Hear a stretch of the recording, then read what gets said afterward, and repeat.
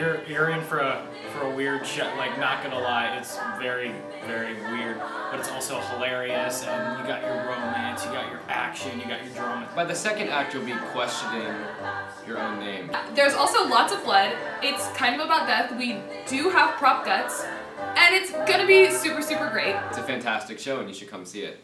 Hi, I'm Mr. Kaufman. I'm one of the directors for the fall musical production of Little Shop of Horrors. Uh, tickets are on sale online um, for $12 and they are on sale at the door the night of the show for $10. The show Little Shop of Horrors is about a, a, a meek florist boy who is trying to um, woo this girl that he's in love with, Audrey. Um, he kind of gets pushed to the, to the side because he's a shy guy.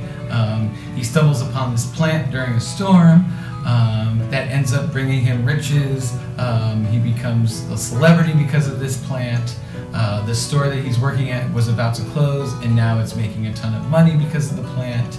Um, and uh, this guy Seymour ends up taking quite a journey through uh, figuring out how to deal with celebrity and how to deal with what's right and what's wrong and love and friendships and relationships. It's a great story, awesome music, um, really in that 1950s, late 1960s um, doo-wop style of music with a little rock comedy involved in it.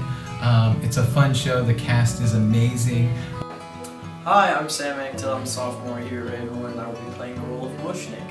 Um, I'm Carson Boudreau and I'm a senior at Ravenwood and I will be playing the puppeteer for the plant